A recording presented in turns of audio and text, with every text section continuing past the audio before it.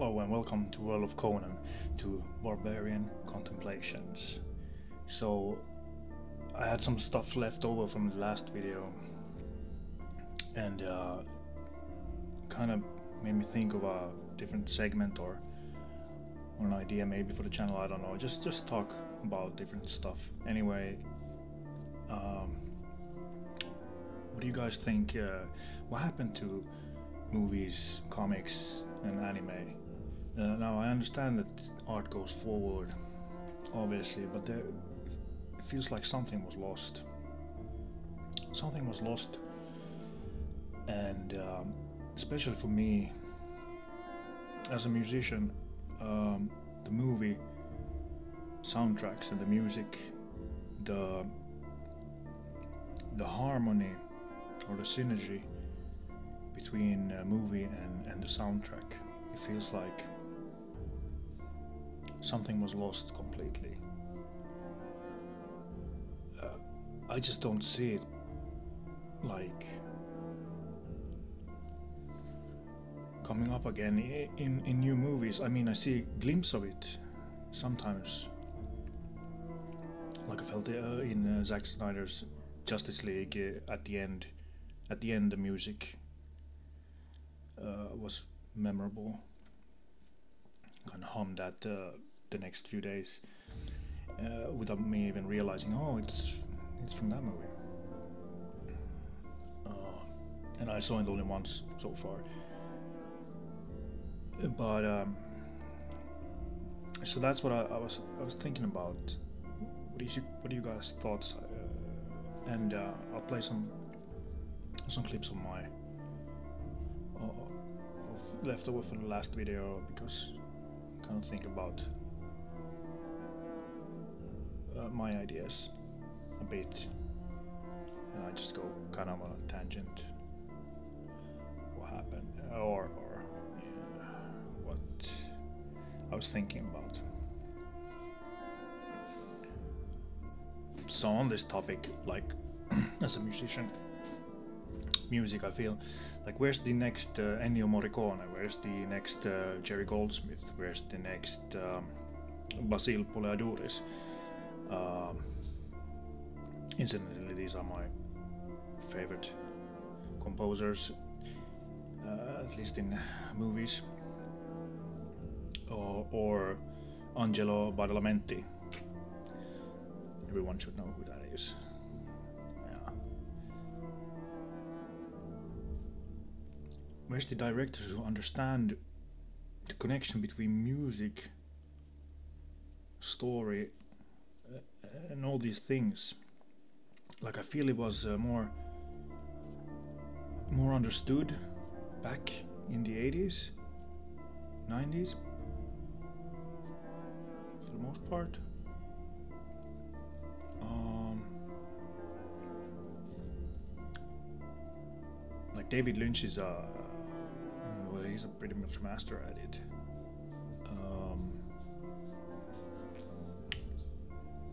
Ennio Morricone, yeah.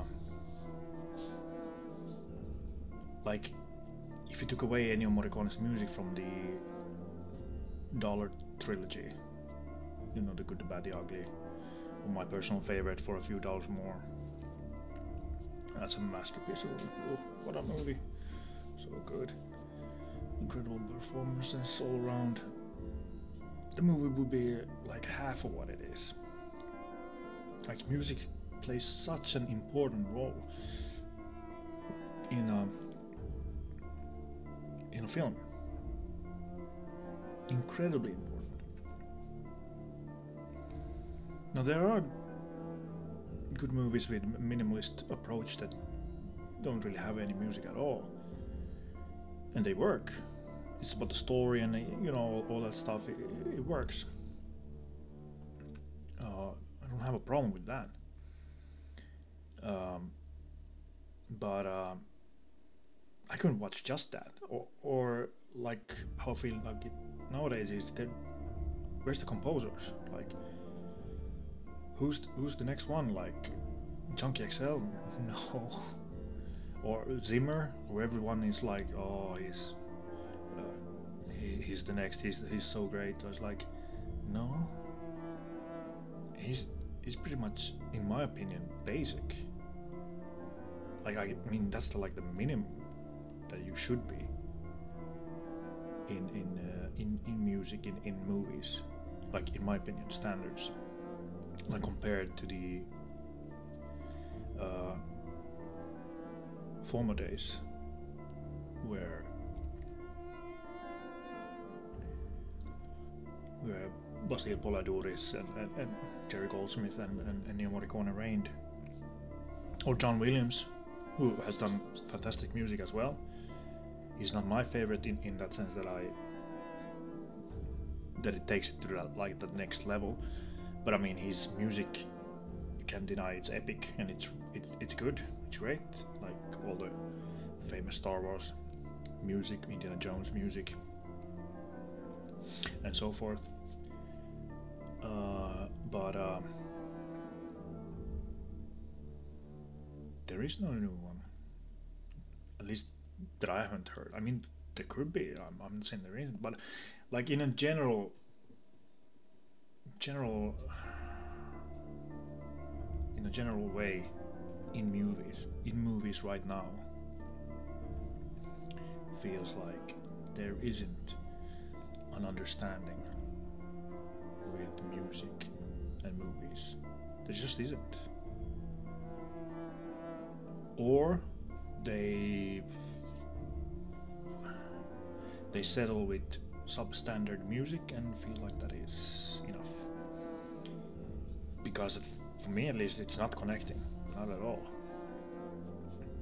It's really not connecting. Bring back synth music as well to movies. Thank you. But um,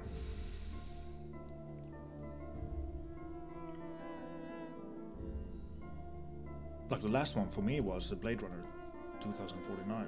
I mean, I understand some people don't like that movie. But again, it's it's a continuation of, of a in uh, like a perfect movie. a perfect movie. It's a continuation of a perfect movie with a magnificent universe that I like to I would like to explore more and further. And the music, like that soundtrack, is like bar none one of the greatest ever made. Period. Like I've listened to that score so many times. Also, the holy grail of synthwave and retrowave music. Bands like Perturbator, um, uh, Carpenter Brut, and uh, a whole host of other ones. Trevor something, and, and like on and on and on. Noir Deco and uh, all these kinds of bands. It's like yeah, so that that movie hit, but again, that wasn't an original movie in in, in a sense that that had already tested, oh, done done already, and it had worked. Not at release, box office wise, box office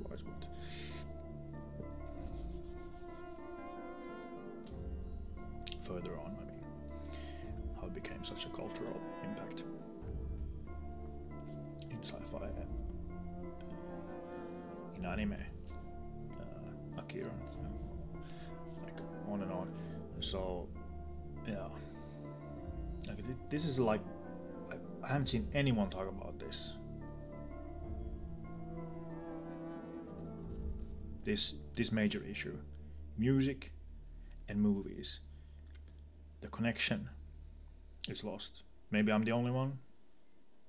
Maybe everyone thinks Hollywood or or otherwise movies just pumping out masterpieces of uh, of soundtracks like daily or yearly, but no, there just isn't like I said, last one for me was uh, Blade Runner. Again, that was done in the style of Vangelis. Oh yeah, Vangelis. How could I forget Vangelis? Yeah, that's one of my oh, favorite composers. Vangelis. Dude, Vangelis. His soundtrack for The Bounty. Oh, amazing. Vangelis also did Conquest of Paradise, the Ridley Scott movie nobody really talks about, which I think is fantastic. And the music, once again, top tier level. Um, I think Vangelis did a fantastic job also in Alexander the Great, like a newer, newer movie. But yeah, yeah, I don't see anyone picking up after the old guard. The perfect. Those great, great, great composers. There are many have passed away sadly. Passed away. Just isn't. Um, so it feels like a downhill in in movies, in story wise, in acting wise, in, in, in music wise, in directing wise. So much CG, people don't understand the greatness of yesteryear's practical effects. Looks more real. There's so much, yeah, but I don't see anyone talking about this music thing, and uh, it's pretty much dead. Disagree with that, but I don't know. For me, That's a huge disconnect. Yeah, I just wanted to say, look at that art.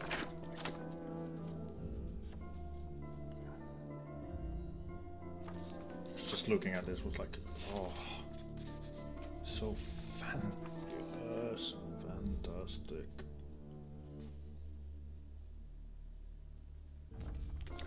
I mean, like with the old art so cool, detailed, and all that stuff. That's why, I, while I do love the, I love new anime. Of obviously there, like, there's, there's so much good stuff.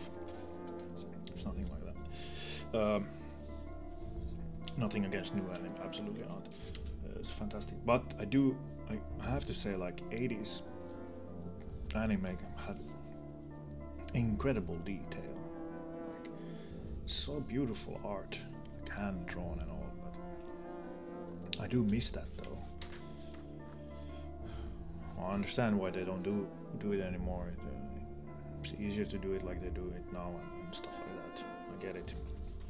But man, it looked so good. The detail, just like you know, just like this old comics. Like they're so so much detail. I mean, a lot of new stuff. Like just comparing it to the to the other uh, to the new one like uh, the avengers no road home. I, I, like i'm not saying this is bad not, not at all. Uh, like it's looks looks good clean and, and, and, and, fantastic. This is one of the better art i've definitely seen of the of uh, newer comics uh, and this has this has good detail, definitely. But uh, in a lot of like newer comics, there's like the detail isn't isn't there, then it's just like really basic colors here and there. Like, I mean, easy for me to say, but it's my opinion. Um, as a appreciator of the comic arts, it just seems definitely something in movies as well. It looks like in anime and, and, and comics and, and arts. Kind of something that was lost to the 80s. Like a lot of detail. Awesome, awesome, awesome detail. Um, I do say this if I was a movie movie producer, movie director, one time I thought about being a director, like long, long ago. I would put uh, new retrowave music in everything. uh, obviously, if it doesn't fit, I would, would put like some kind of period piece. Pride and Prejudice with synthwave. Yeah, that would go over super well. No, but I mean, like it feels like it, like we've lost something like you know all those classic movies like Aliens, RoboCop, Terminator, um, Predator, all those like classic movies, classic soundtracks, Conan the Barbarian, uh, The Thing.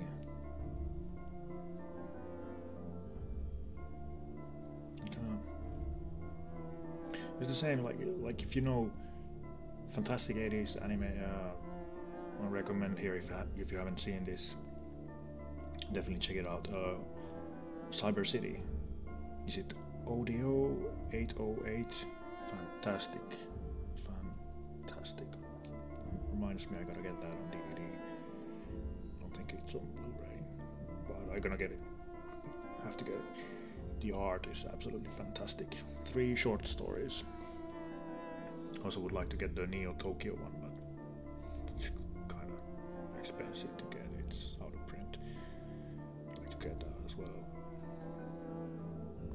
But yeah. Yeah, give me more in those old school style. Would be definitely really cool. And um, definitely feel the movies have lost it nowadays. There sometimes comes like a good movie, but there's there isn't really masterpieces anymore. And there's exceptions, but for the most part.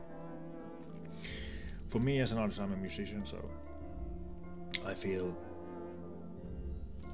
the link of the movie and the music has been for the most part, for the most part, completely lost. Yeah, completely lost. Where's the awesome theme that makes you feel something? Where's that like, like Conan the Barbarian? That's basically, uh, well, that was his point. Like John Milius, it's uh, it's an opera. Now I've been enjoying opera as well because I've been watching some of them and I can definitely see it. Why? Uh, I can definitely see that he made it as an opera in mind. So yeah. Uh, but just take like uh, let's say Terminator or or or uh, Predator or Total Recall. Um, even Dune, I love the Dune movie, the old Dune movie, fantastic. Uh, looking forward to the new one, but I'm just gonna say it right here. I'm predicting the music is not gonna be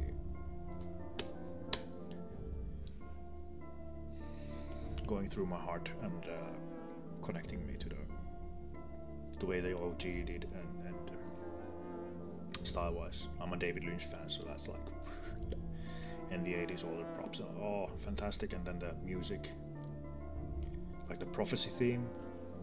Oh, check that out! The prophecy theme is so good, so good. Love it, and the theme, of course, is obviously.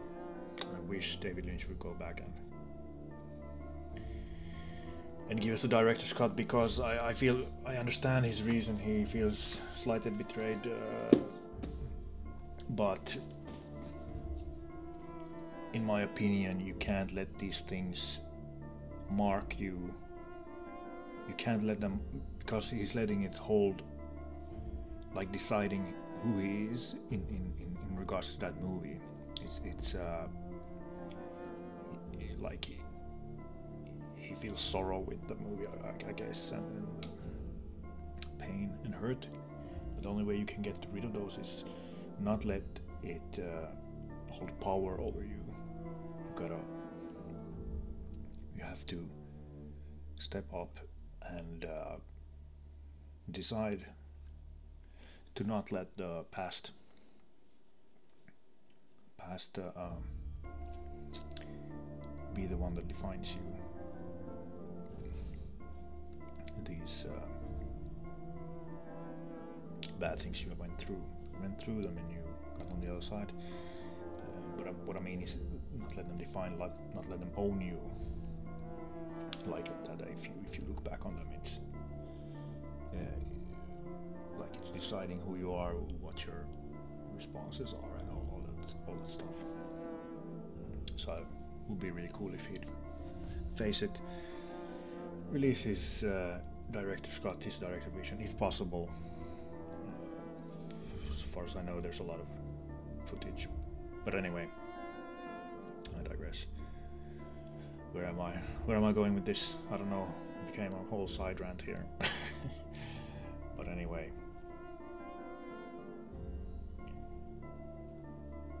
Yeah, seems like the old stuff is where it's at for the most part. Some cool stuff. Oh, alright. Yeah, with uh, Chuck Dixon. Uh, I rem remembered he has a new kind of service here. Um, what was it? Arkhaven Comics? Uh, but yeah, you should find it with that kind of Google search. Definitely gonna check out his. Uh, I think it was Chuck Dixon's Avalon comics. So at some point, look cool. Yeah, recommending.